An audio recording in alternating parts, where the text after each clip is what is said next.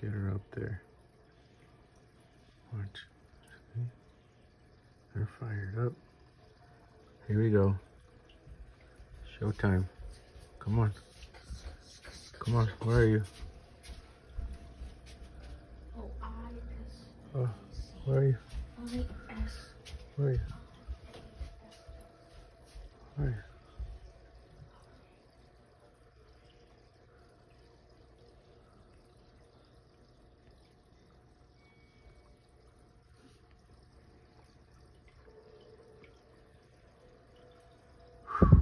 So fired up.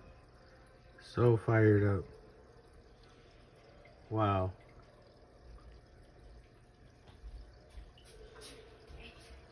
Look at that Achilles. Man, this tank is doing great. Makes me want to get these guys out and uh, give it a try for breeding.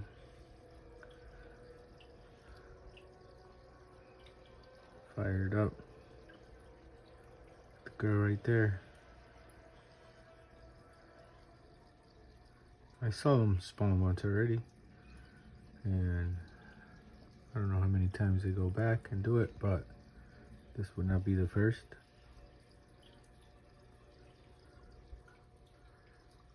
It's an all day thing. I think I've noticed this kind of activity go on for like a day and then the next day they kind of just relax for a month or so or some weeks or so.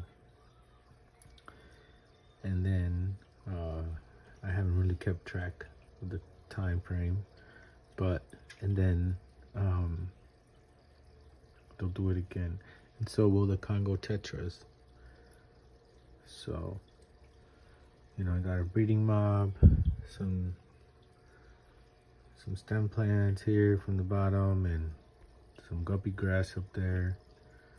Um, I also got a dense root base of the pothos and some guppy grass that's in there you know. Um real real dense in here you know real packed. The neons are in there you know there's like 25 neons in there you know everybody does pretty well together I haven't lost any fish in a while here's a Boesemani this guy's fired up pretty well He's probably doing some breeding in there. That's a female. That's a female Congo. Here's the female killifish. Well, seems like all the females are on this side, right?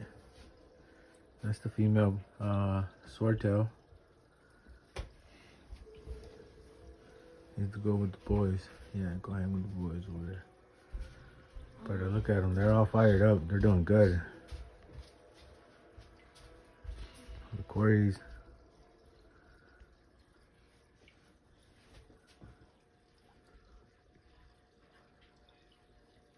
He's up in there breeding. Got him. Yeah.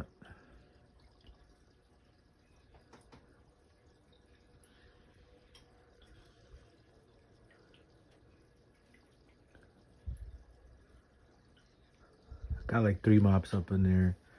Um, that whole back back up there is filled. You know, doesn't seem like much, but this this tank is on the wider side or on the longer side uh, and higher side, I guess you could say.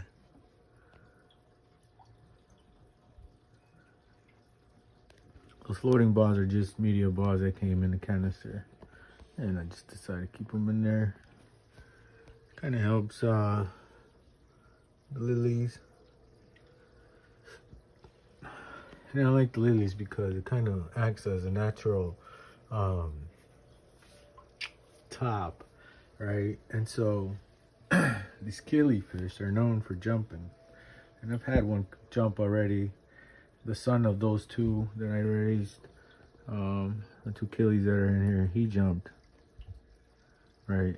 Uh, and so the lilies weren't grown in as well, but now they've grown in better, and I feel like uh, I've never seen them look back and uh, measure distance uh, at a hole or at a um a couple places. I'll show you guys.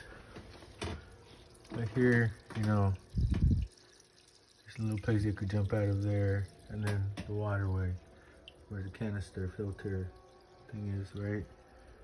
Um, you know, the lilies, right? So it's like a natural top. Good cover, but uh, I found that I need so much light in this tank to get down there for the plants to grow well that having a top does not help. And this is just uh, tomato grower light. Right. Got some videos on this. Right. It's uh, full spectrum. And I do use this sometimes, but most of the time I just leave it on natural light, bright light, daylight. It's called. Guys, look at the neons there. Doing great. Red Tiger Lotus. Everybody's happy. Everybody's breeding. Everybody gets their chance to breed. Even the Harlequins are breeding. We don't get to see that though. I don't know how they do it. Never caught them do it, so.